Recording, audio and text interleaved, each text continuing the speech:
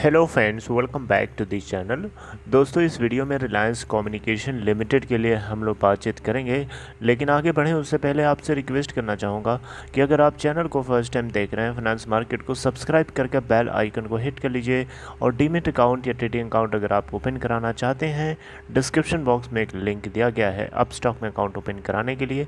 दोस्तों Reliance communication limited आज भी थ्री के ऊपर ओपन होने के बाद थ्री का हाई और थ्री 3.05 का low one crore ninety lakh twenty eight thousand fifty four total NSE के ऊपर वॉल्यूम जनरेट हो चुका है और बीएससी के ऊपर देखें तो fifty four lakh ninety three thousand two hundred eighty four अभी बारह बज के पाँच मिनट का स्टेटस हो रहा है और बीएससी के ऊपर थ्री पॉइंट ज़ीरो नाइन के ऊपर ट्रेड हो रहा है। दोस्तों लास्ट के अगर आप पाँच दिनों की ट्रेडिंग एक्टिविटी को देखेंगे तो ये आपको वाकई में फ्रस्ट्रेट करने वाली सिचुएशन दिखाएगा।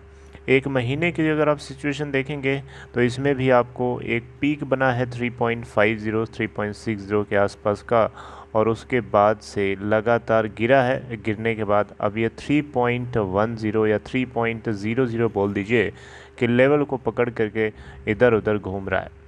राइट न 3.10 से ऊपर जा रहा है ज़्यादा न 3.10 से ज़्यादा जा रहा है नीचे जा रहा है।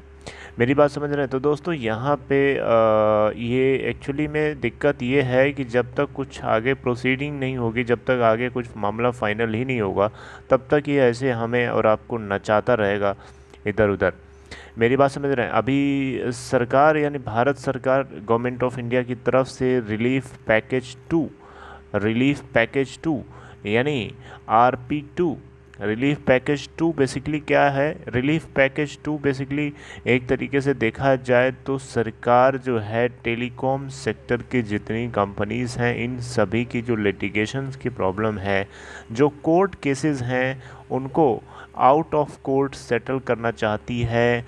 और ये चाहती है कि सरकार, चाहती है कि टेलीकॉम सेक्टर की कंपनीज़ के ऊपर जो लिटिगेशन का बर्डन है, उसको रिड्यूस किया जाए ताकि कंपनीज़ ग्रो करें।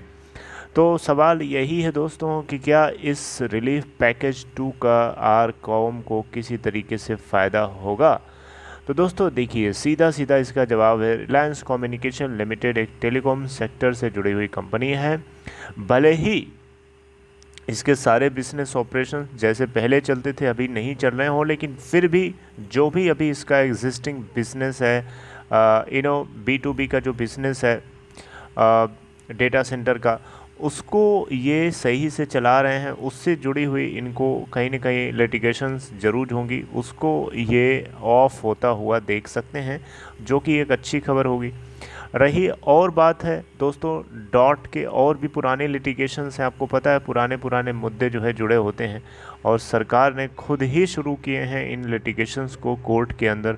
तो अब सरकार को ही इन्हीं सारे लिटिगेशंस को विदड्रॉ करना होगा और उसके लिए सुप्रीम कोर्ट के अंदर भारत सरकार ने एफिडेविट फ़ाइल किया है। एफिडेविट लगा करके एक रिक्वेस्ट फ़ाइल किया है तीन हफ़्ते के टाइम के भीतर भीतर इसी मुद्दे के रिगार्डिंग में।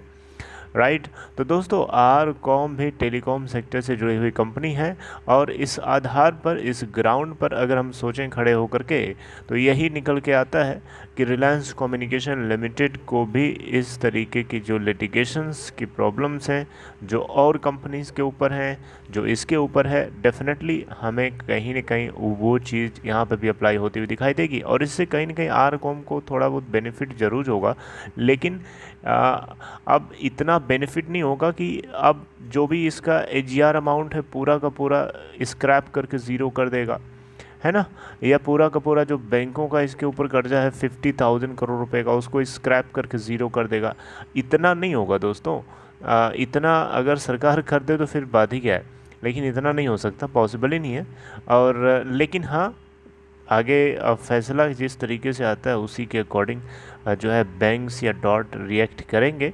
अभी आगे नेशनल कंपनी लॉ ट्रिब्यूनल के अंदर नेक्स्ट डेट ऑफ़ हियरिंग के बारे में अभी कोई अपडेट नहीं है। अगर आपको किसी तरीके से कोई लीक पता है डेट पता है तो आप कमेंट बॉक्स में बता सकते हैं। लेकिन दोस्तों, जो कुछ होगा, हम उसको डिस्कस तो करेंगे ही करेंगे। लेकिन कुछ भी कहिए आर कॉम के इस चाल को लेकर के आप जो फ्रस्ट्रेट हो रहे हैं, उसको फ्रस्ट्रेट होने से रोकिए। बहुत ज़रूरी है, क्योंकि ये फ्रस्ट्रेशन ही आपको गलत रास्ते पे लेके जाएगा। मेरी बात समझ रहे हैं? फ्रस्ट्रेशन से गलत रास्ते का क्या कनेक्शन है? जैसे देखिए, अभी जिस तरीके से चाल चल रहा है, इसको देख करके आप इतना ज़्यादा फ्रस्ट्रेट हो गए, इतना ज़्यादा फ्रस्ट्रेट हो गए कि आप जितने भी अभी लॉस पे बैठे हैं, आपका मन करेगा कि हटाओ यार सब बेच बाज के निकलो इस कूड़े शेयर से। इसे नहीं रुकना है, इसे देखना तक नहीं है। इस तरीके की बातें आपके दिमाग में भी चलती होंगी। और ये डेफिनेटली एक गलत डिसीज़न है, गलत ट्रैक है रॉन्ग ट्रैक है, जिसके ऊपर जाएँगे तो आप अपने ही पैर में कुल्हाड़ी मारने वाला काम करेंगे और आपको पता तब चलेगा जब आप यू नो इससे एग्ज़िट कर चुके होंगे। रियलाइज़ करेंगे और समय निकल चुका होगा। नुकसान के अलावा आपके हाथ कुछ नहीं लगने वाला। तो बस यही कहूँगा कि आप जो है, इसमें पोजीशन अगर आपने लिया है पहले से लॉस में हैं, शांति से बैठे रहिए वेट एंड वॉच करिए। आगे रिलायंस कम्युनिकेशन लिमिटेड किस तरीके से इसका रेजोल्यूशन प्लान तैयार होता है, सरकार क्या करती है, जियो क्या करता है? क्योंकि जियो यहाँ पे बहुत ही अहम रोल प्ले कर रहा है अपने फ़ायदे के लिए।